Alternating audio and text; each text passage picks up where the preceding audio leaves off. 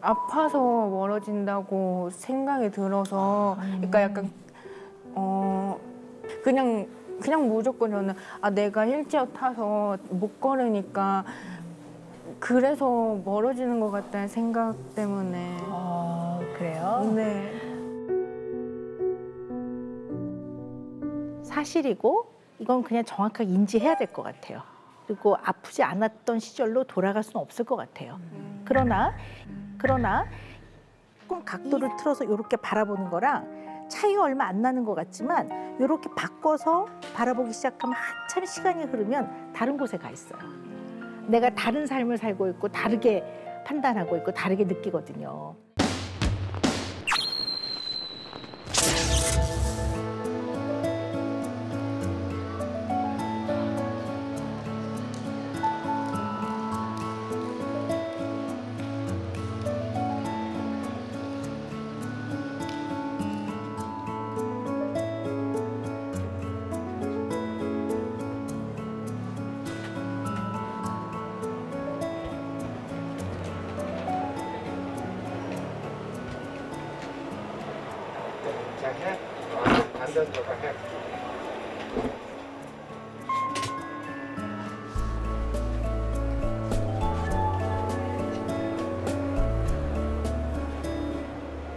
안녕하세요. 저는 19살 임양은이라고 합니다.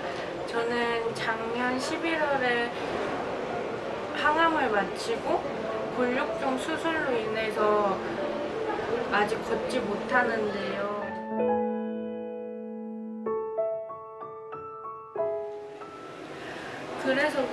계속 방 안에만 있다 보니까 친구들이 다 떠나고 혼자 남게 될까봐 너무 무서워요.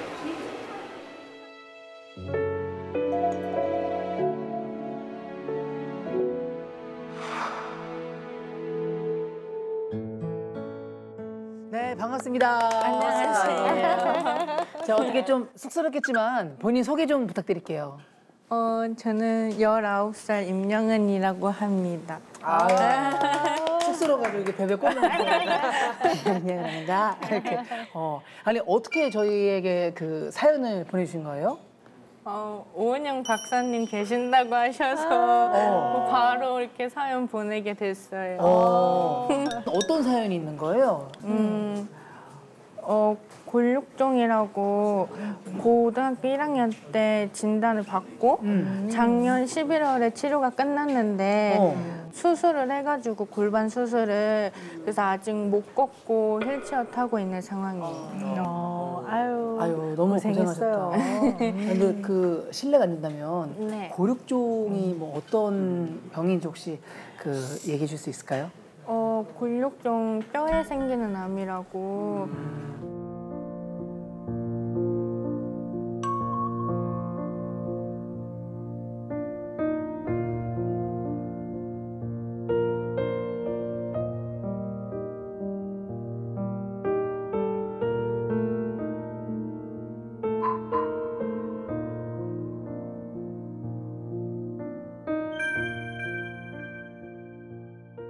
야, 그러면은 지금 학교는 지금 어떻게 다니고 계신 거예요, 지금? 학교는 음. 그때 진단 받고 그 뒤로 못 가고 있어요. 어, 그렇구나. 네. 아, 아유 이게 그럼 친구들 많이 좀 보고 싶고 그러겠어요. 네, 완전 보고 싶어요.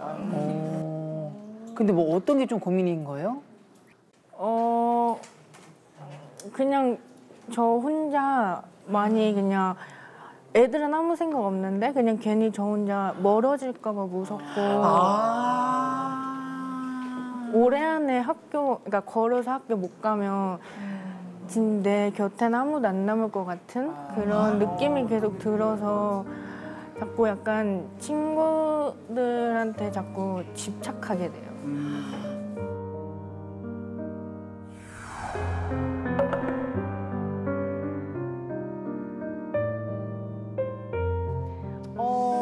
영은 씨 생각에는 네. 가장 큰 이유가 어떤 거 같아요? 뭐인 것 같아요? 솔직히 그냥 잘 모르겠고 그냥 계속 드는 생각이 내가 아파서 멀어진다고 생각이 들어서 그러니까 약간 어 그냥 그냥 무조건 저는 아 내가 휠체어 타서 못 걸으니까 그래서 멀어지는 것 같다는 생각 때문에 어, 그래요? 네. 그냥 괜히 뭔가 제가 휠체어를 타고 있어서 어, 저한테 안 오는 것 같아서 계속 연락을 하게 되는데 그게 도가 지나쳐서 계속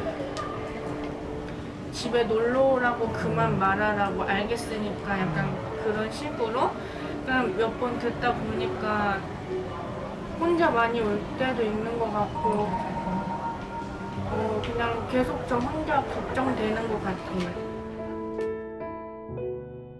음, 아니 좀 궁금한 게 있는데 네.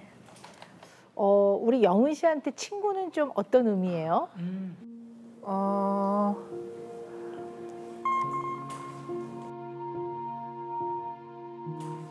약간 음.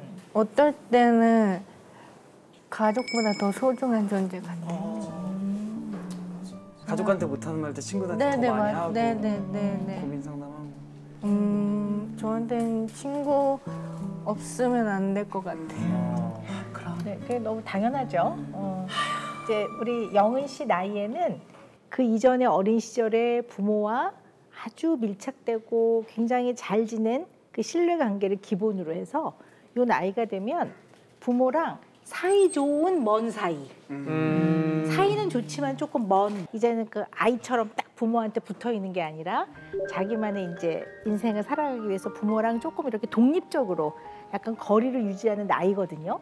그러면서 친구하고 그 이제 밀착된 관계를 유지하면서 꼭 부모를 못 믿어서가 아니라 친구한테 털어놓을 얘기들이 있는 거거든.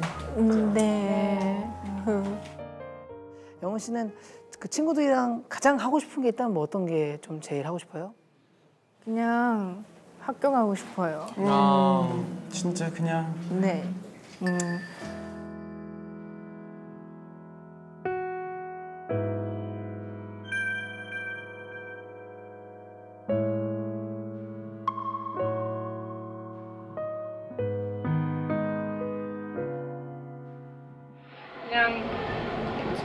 집에만 있다 보니까 옛날 사진들 찾아보고 막 그러는데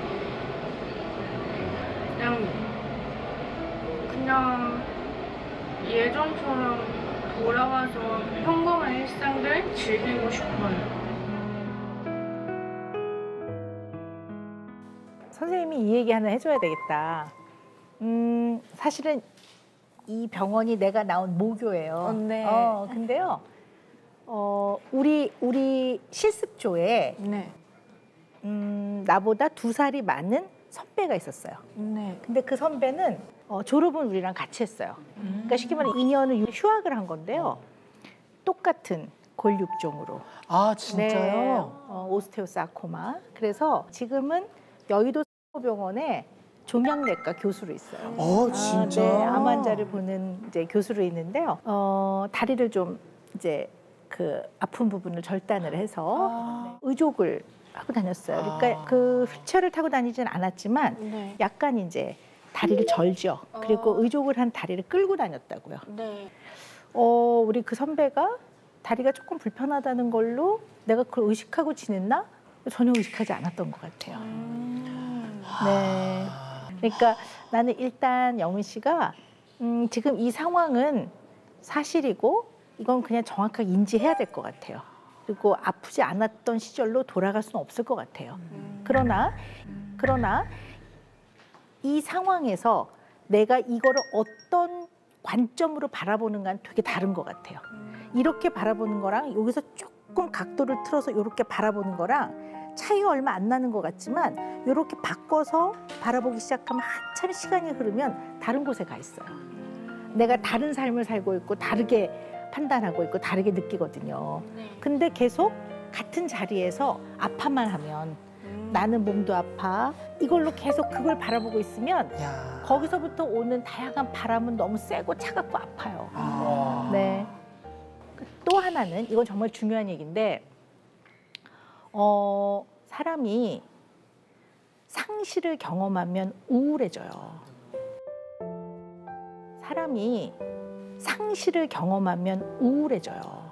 슬퍼지고. 근데 영은 양은 건강을 잃은 거예요. 어쨌든. 물론 지금 다시 회복해 나가는 찾아가고 있는 과정에 있지만 근데 친구들마저 잃으면 어떡하나라고 생각하는 거야. 그러니까 이게 상실에 대한 이 지금 이슈가 있어요, 영은 양이. 그래서 이것 때문에 지금 좀 마음이 힘든 건데 어쩌면 또 너무 난 당연하다고 봐요.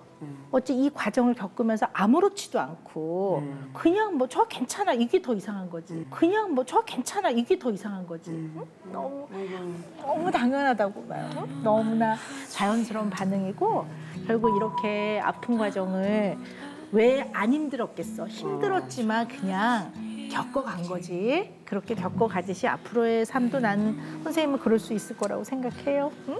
괜찮아질 거야 전부 다 흩어지는 새벽 여섯. 꽃게처럼 지나간 이야기 홈이라는 곳인데 집처럼 나를 생각해줬으면 좋겠다. 나에게 기댔으면 좋겠다. 우리의 따뜻함을 그대로 간직하고 싶어. 어떤 누구라도 우리 사이 풀지 못해 Tell me now, tell me now 말 좀 해줘 내 안에서. 내 맘에서 널 멈추고 있어. 널컥 겁이 나는 걸. 어쩌겠어? 난 너가 없으면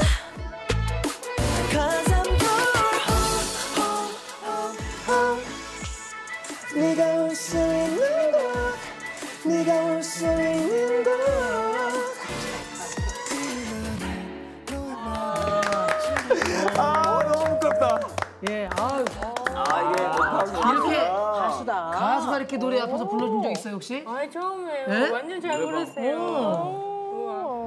오늘 이 영은 양의 마음, 마음, 오케이, 오케이. 오케이.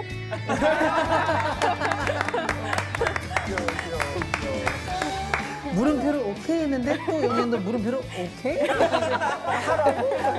괜찮냐고? 고맙습니다.